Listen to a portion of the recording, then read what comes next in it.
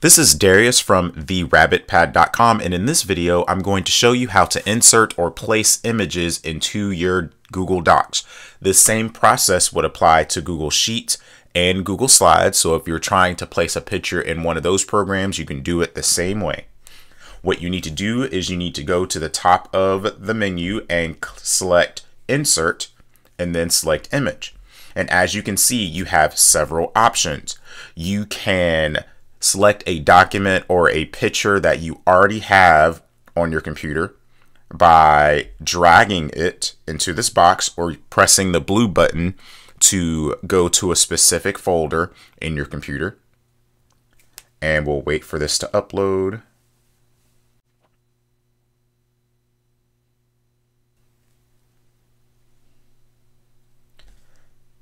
So here is the picture that I uploaded from my own computer that I got off of unsplash.com.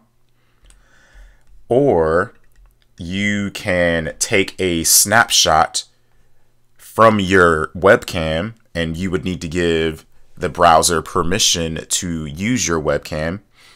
Or you can copy and paste a specific image from a specific website, and this picture is from pexels.com.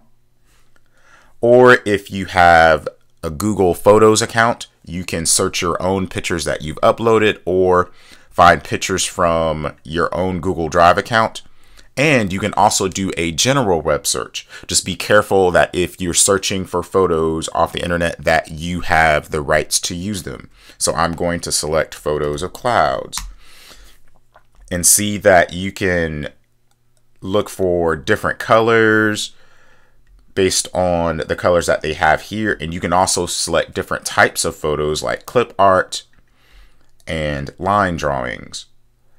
So this is how you insert a photo into Google Drive. And what's going to happen is I'm just going to select the photo from the website that I found earlier and you press select and the photo will appear and that is how you insert images into Google Docs.